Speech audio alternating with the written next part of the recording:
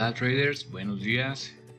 Bienvenidos a esta penúltima sala de trading correspondiente a nuestro proyecto de bitácora de trading para el mes de julio. Hoy 30 de julio, siendo las 8.08 horas del centro de México, estamos pues a 22 minutos de la apertura americana. Eh, datos a comentar. Vamos a marcar acá. Bueno, pues tenemos un volumen al momento de 326 mil contratos. Viendo la tendencia, vamos a estar abriendo por ahí de los 350, 360, por ahí así más o menos. Eh, pues un día eh, moderado en cuestión a volumen, digamos que de normal a tranquilo. Tenemos al momento un ancho de banda o una volatilidad para las barras de 610 ticks de 11.49 eh, digamos que de normal a de normal a un poquito arriba digamos para darnos una idea ¿no?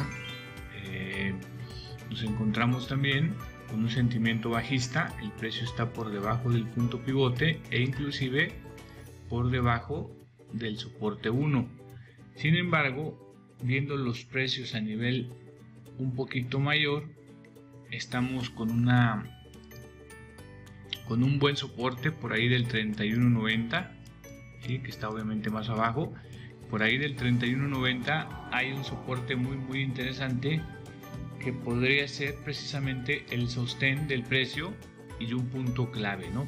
para observarlo observarlo muy muy de cerca este nivel si el precio llega ahí es muy probable que rebote hacia arriba o en el otro extremo que es menos probable, pero que sin embargo puede suceder es que lo quiebre y bueno, si lo quiebra entonces hay un buen vacío, hay un gran vacío de precio y sería interesante observar esa situación, ¿no? Yo lo que creo, lo que creemos es que el precio va a ir a buscar esa zona en un caso que siga cayendo un poco más y ahí buscar pues una continuación, ¿no?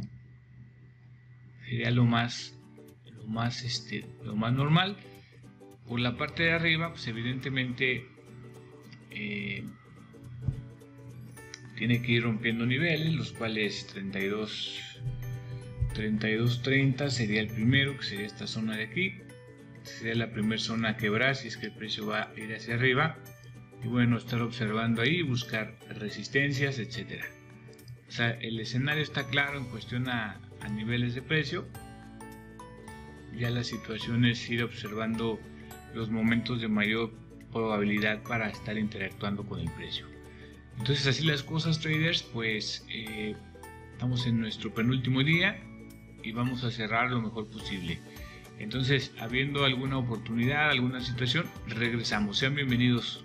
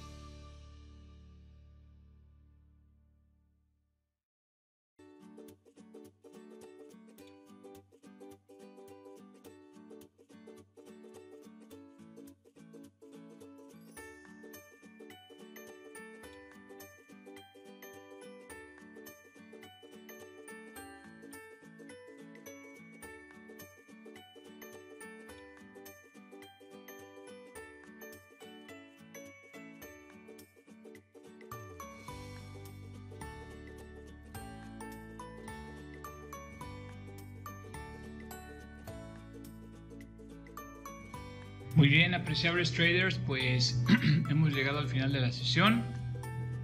En este penúltimo día de nuestro proyecto de bitácora de trading, aquí estamos viendo las operaciones, las cuales vieron en vivo en la grabación.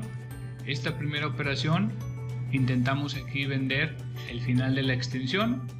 Sí, el precio bajó, eh, bajó conforme a lo estimado, pero pues eh, la idea aquí era montarnos en un movimiento que tal vez era el giro, ¿no? Finalmente no se da, la tendencia continúa y eh, cerramos en punto de equilibrio pagando únicamente la comisión.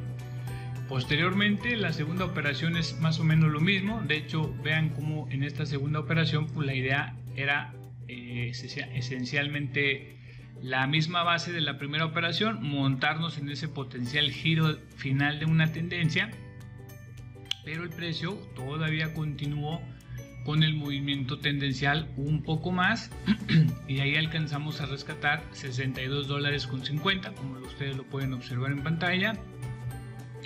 Ahí llevamos nuestro segundo trade porque este de acá pues básicamente fue, fue empate. Y ahí como les hemos comentado no los consideramos como parte de nuestra nuestra gestión del riesgo, ¿no? se está pagando la comisión evidentemente, pero digo, ya es un costo menor, por eso es que no se le considera como un cartucho quemado, sino más bien como un intento que salió en punto de equilibrio. Después viene esta, esta tercera operación, ¿sí? aquí vamos a agrandar un poquito el gráfico. Obviamente, como ustedes pueden ver en la pantalla, pues la figura, la figura de este de este patrón de cambio de tendencia era lo que nos motivaba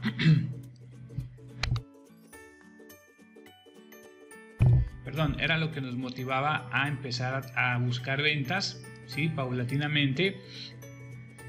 Pero pues como siempre hay que estar muy pendiente, el precio para cambiar una tendencia no va a ser tan sencillo, ¿no? Es muy lento, muy lento, nos empieza a formar los patrones de cambio, como en este caso es un hombro cabeza hombro, o una corona del rey, o como ustedes le quieran llamar, que eh, nos empieza a mostrar ese patrón de cambio de tendencia. ¿Qué tendencia? Pues evidentemente la que se ha formado desde las, pues prácticamente desde el inicio de la sesión.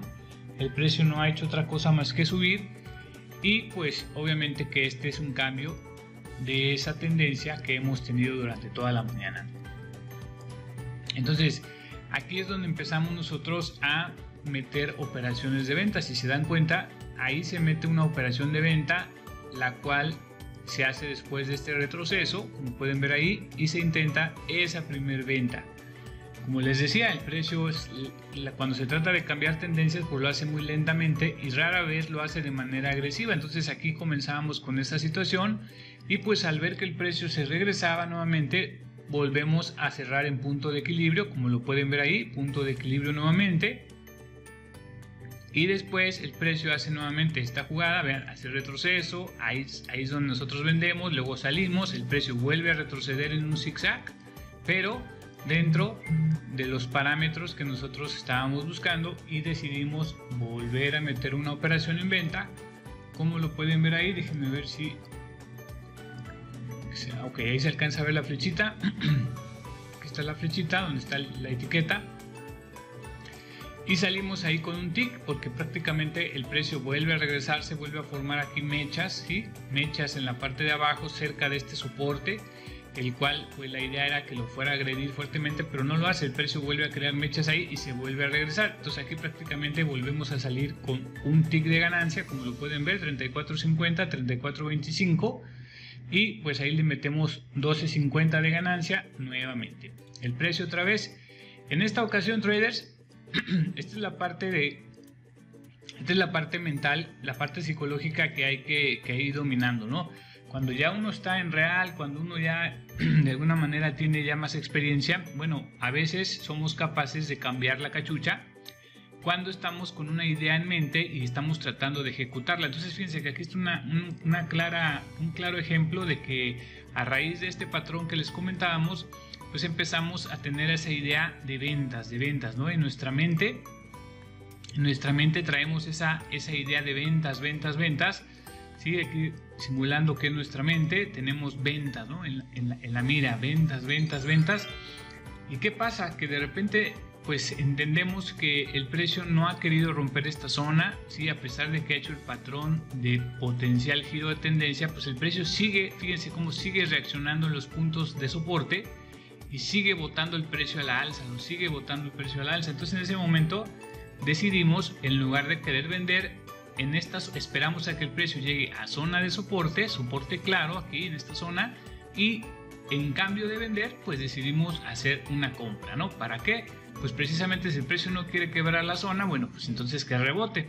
Y efectivamente aquí como lo pueden observar ahí realizamos una compra, ¿sí? Ahí realizamos una compra en el 23, perdón en el 33, 32, 33 y salimos en el 34.50 llevándonos ya para finalizar este día 75 dólares más. ¿sí? 75 dólares más. Eh, en esa situación de que el precio pues no quiso quebrar, ya de plano, dada la situación que falta media hora para el cierre del mercado y considerando que ya va a aparecer aquí nuestra, nuestra franja de alerta en la cual nos indicaría que ya no hay que buscar operaciones salvo que fuera un caso excepcional que andemos un poquito ahí desesperados, no sé, alguna situación rara, pues obviamente, como lo han visto, creo que en un día de todos los que hemos grabado, pues ahí hemos hecho operaciones al final de la sesión.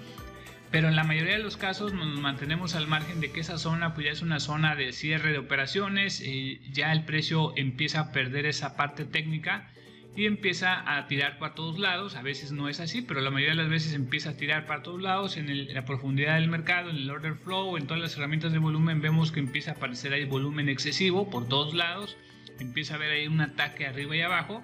Y obviamente que el precio lo refleja con movimientos erráticos que ya no corresponden al análisis que traíamos arrastrando. Y pues es mejor, si no es necesario, mantenernos fuera, traders. Esa es una recomendación que les hacemos acá en Labrando Traders de esa situación. Entonces vamos a hacer nuestro descargue, el cual ya tenemos aquí listo para ahorrarnos tiempo.